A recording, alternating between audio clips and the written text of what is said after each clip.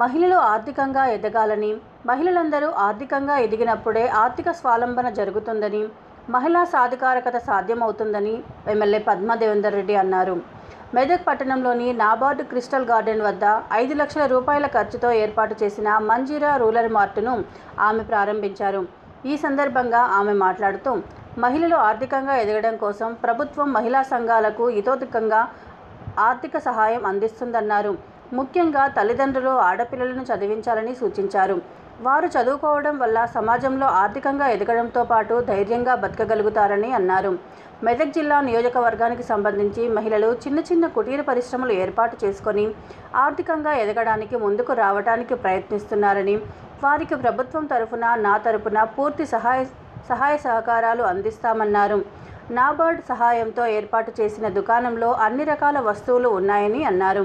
చేతి ద్వారా తయారు చేసిన వస్తువుల నాణ్యత బాగుండడంతో పాటు తక్కువ ధరకే లభిస్తాయని అట్టి వస్తువులను ప్రజలకు అందుబాటులో ఉంచితే బయట వస్తువులు కొనకుండా ఉంటారని ఆమె అభిప్రాయపడ్డారు. రాబోయే కాలంలో దీనిని ఆదర్శంగా తీసుకొని గ్రామాల్లో కూడా ఇలాంటి దుకాణాలు ఏర్పాటు చేయడానికి ప్రయత్నిస్తామన్నారు. ఈ కార్యక్రమంలో RDA Srinivas additional RDA Bhumaiah ZP vice chairperson Lavanya Reddy municipal chairman Chandrapal MPP ward కౌన్సిలర్లు పాల్గొన్నారు. మహిళలు ఆర్థికంగా ఎదిగినప్పుడే ఆర్థిక స్వావలంబన జరిగినప్పుడే మహిళా సాధికారత అనేది సాధ్యమవుతూ ఉంటుంది. ఎంత మన ఆడపిల్లలు చదివించుకోవాల్సిన అవసరం ఉంది. ఆడపిల్లలు చదువుకొని తమ కాళ్ళ మీద తాము నిలబడి ఈ సమాజాన్ని సమాజంలో బతికే విధంగా ధైర్యంగా ఆర్థికంగా ముందుకు వెళ్ళే విధంగా ఉండాలంటే వాళ్ళకి చదువు చాలా అవసరం. ఆడపిల్లలందరినీ చదివించుకోవాలని చెప్పి మా మహిళలందరూ కూడా విజ్ఞప్తి చేస్తా ఉన్నాను.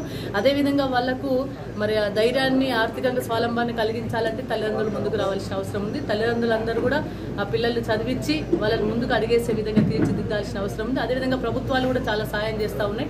అనేక రకాల మరి ఎస్హెచ్జి గ్రూప్లకు సెల్ఫ్ హెల్ప్ గ్రూప్స్ గ్రూప్స్కి ఏంటంటే వాళ్ళు పొదుపు చేసుకొని ఆ పొదుపు ద్వారా వాళ్ళు డబ్బులు సంపాదించుకొని ఆ డబ్బులతోనే వాళ్ళు ఆర్థికంగా ఎదిగే విధంగా. గతంలో పొదుపు చేసి సంఘాల వారు డబ్బులు వచ్చిన తర్వాత ఎవరికి వాళ్ళు ఎంత వస్తాయో పంచుకొని వాటిని ఖర్చు పెట్టుకునే వాళ్ళు దేనికైనా ఖర్చు పెట్టుకునే వాళ్ళు ఇబ్బంది అవుతుండే మళ్ళీ బ్యాంకులో రికవరీ కట్టేటప్పుడు చాలా ఇబ్బంది పడేవాళ్ళు. ఇప్పుడు ఆ విధంగా కాకుండా అధికారులు కావచ్చు ప్రభుత్వాలు కావచ్చు మా మహిళలు కావచ్చు అందరూ కూడా ఒక యూనిటీగా ఒక కార్యక్రమాన్ని కొనసాగిస్తూ ఎప్పుడైతే నాబార్డ్ వాళ్ళు మనకు డబ్బులు ఇస్తున్నారో వాళ్ళకి లోన్ శాంక్షన్ చేస్తూ ఉన్నారు. అదేవిధంగా వడ్డీ లేని రుణం వస్తుందో ఈ పొదుపు చేసుకున్న డబ్బులన్నింటినీ కూడా వాళ్ళొక చిన్న చిన్న కుటీర పరిశ్రమలకు గాను పెట్టుకొని వాళ్ళు ఆర్థికంగా ముందుకు వస్తా ఉన్నారు. వాళ్ళందరినీ కూడా మనస్ఫూర్తిగా అభినందిస్తా ఉన్నాను.